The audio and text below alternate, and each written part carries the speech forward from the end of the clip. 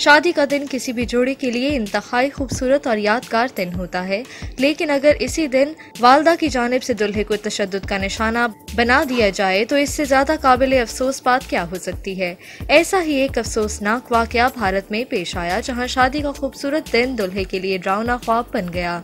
दुल्हे को अपनी ही माँ ने सैकड़ों मेहमानों के सामने चप्पलों से तशद का निशाना बना डाला। इस वाक़े की वीडियो भारत और पाकिस्तान समेत दुनिया भर में वायरल हो गई है। वीडियो में देखा जा सकता है कि दुल्हा दुल्हन एक खूबसूरत सनफ्लावर स्टाइल में तैयार किए गए स्टेज पर एक दूसरे को हार पहनाने में मसरूफ थे, कि अचानक दुल्हे की माँ ने स्टेज पर चढ़कर पहले तोड़ फोड़ की और फिर चप्पल उतार कर दुल्हे बने बेटे को मेहमानों के सामने मारना शुरू कर दिया। शादी में शरीक चंद मेहमानों ने आगे बढ़कर खातून को ज़बरदस्ती स्टेज से उतारा।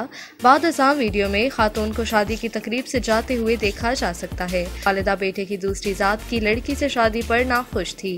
बेटे ने खानदान की मर्ज़ी के खिलाफ जाकर अंकिता नामी लड़की से पसंद की शादी की थी।